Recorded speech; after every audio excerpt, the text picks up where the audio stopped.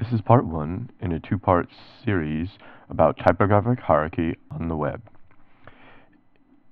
In this first one, I'm going to go over a general introduction of typographic hierarchy and look at some of the steps you can use to implement it on a website.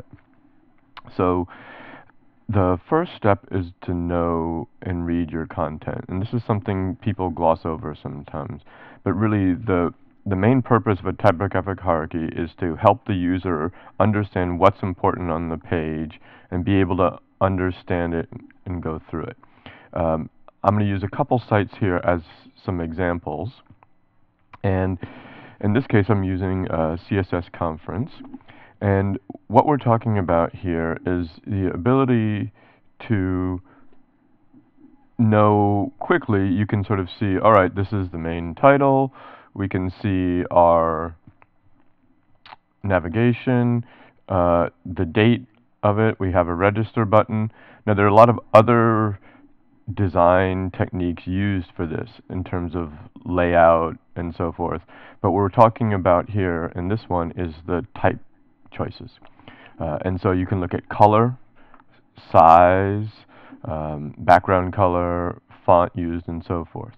Uh, and so those are all things that we can see where they use it. And so in this case, I'm going to focus on the schedule because uh, I'm going to have another example to, to look at as well. And so what we're looking at here is understanding the content. So this is a schedule. Uh, it has a date, time, uh, title, right? Schedule, we have a date, we have time, we have a title of an event, a description of an event. And because this is a conference where people are speaking, uh, for a lot of those we have a speaker, uh, which here has their picture, here's the title again, uh, and a description. And so what you'll start to notice uh, is that the same content, so here we have a title, another title, should be styled the same way. It makes it quick for people to do, right? All of our times are styled, and they're also styled differently from each other so that the name of the author is styled differently from the title, which is styled differently from the text. Okay, the next part is to get the HTML right, meaning you want to use the correct headings, divs, and other elements to mark up the page semantically. And so I'm going to show another example here too while we're talking of a conference schedule that's not quite styled with a great typographic hierarchy.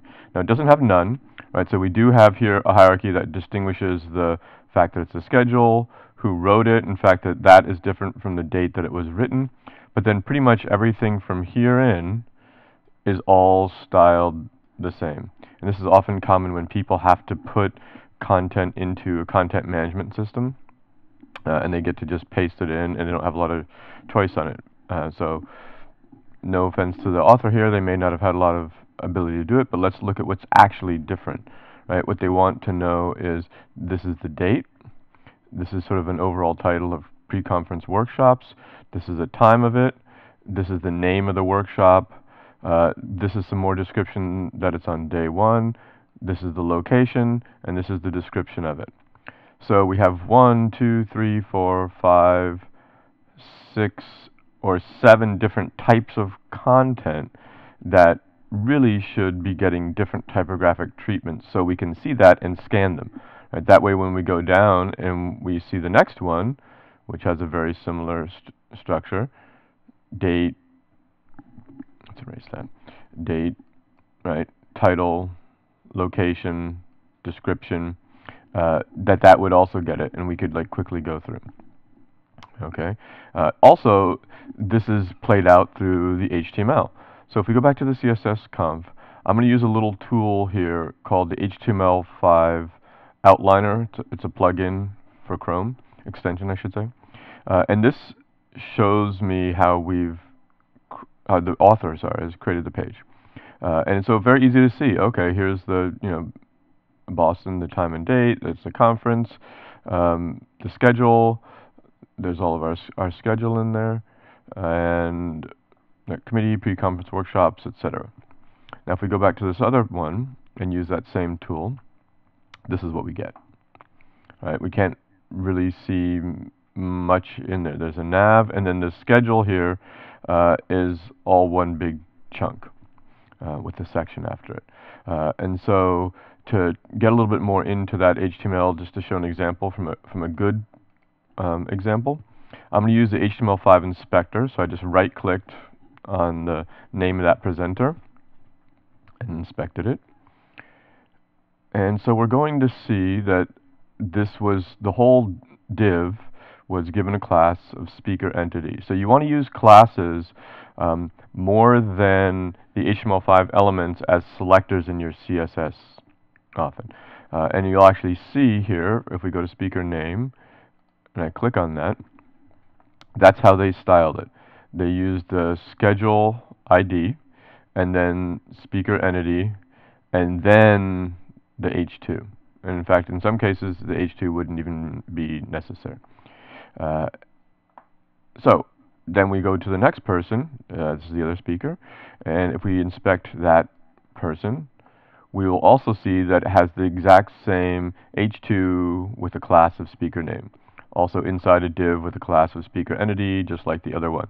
And so these, um, using the same HTML and classes around the same types of content make the styling easily and possible.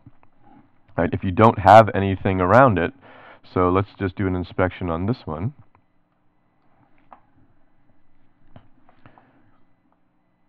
So if we look here, there is, I'm not sure exactly, these look like more automated uh, classes that are added in. Um, but they don't give us a lot of information, right? It's just paragraph with the same class on pretty much everything. Dir equals a letter. It's not even a class, sorry.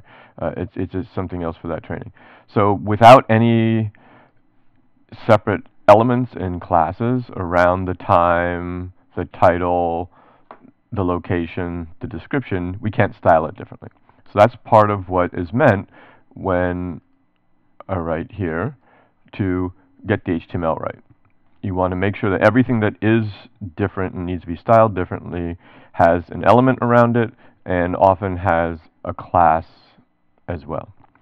Uh, in the next section, we'll sort of cover all of this again and look at actually styling some text. Uh, a quick uh, link here too, this is the HTML5 outliner extension that I used to show those outlines.